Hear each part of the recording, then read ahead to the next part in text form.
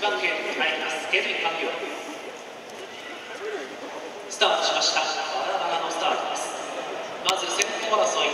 3番リーゼノワールじわりと各馬の出方を見ながら先頭に立ちます。並んでいった8番オセアジェネシス。そして手足がついて11番ドラゴンヘッド2コーナーカーブでオーストバックから一気に花を奪いました。4番手追走が10番西大会。その後が5番手グループ1段手向こう上面に入っていきました。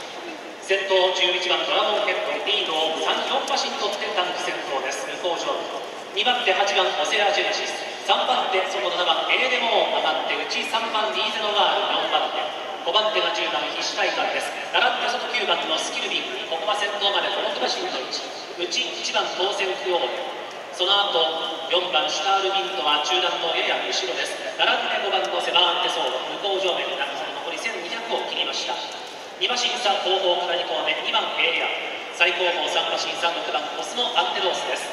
3コーナーのカーブへと向かいます。スタートしたの 1000m1 分3秒ぐらいで通過しています。先頭11番パラモンヘッドリード3馬身34コーナー中間エア。2番手8番オセアジェネシス。外7番のエーレモーンがわずかに3番で800を切りました。内が3番のリーゼノワール。インコース4番手その後9番のスキルビングがじわりと外からポジションを上げようとしています。10番必死大会その後5番セバンテソードが続いて4コーナーカーブ。11番ドラゴンヘッド先頭で直線コースを抜きました。2番手グループが固まってきました。オセアジェネシス。